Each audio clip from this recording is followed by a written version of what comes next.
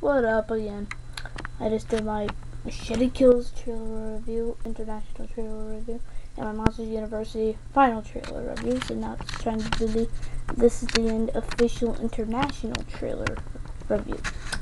So this is the end I'm looking forward to. I want to see the same in a Man of Steel, but I'm probably not going to.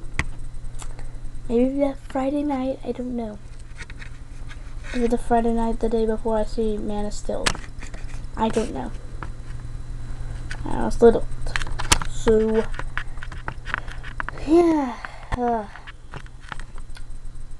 this trailer is pretty good. I liked it.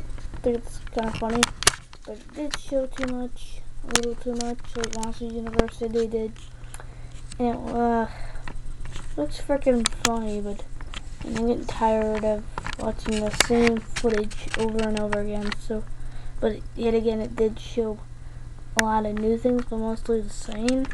That's the biggest problem for the trailer itself. The movie, I think, will be very good. I don't know if I will be seeing it in the theaters. I really want to.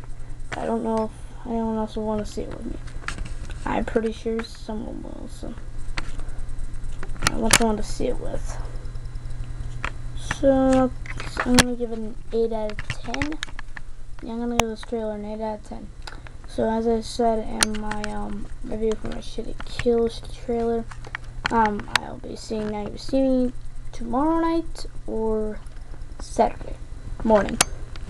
So, look forward to that. So, peace.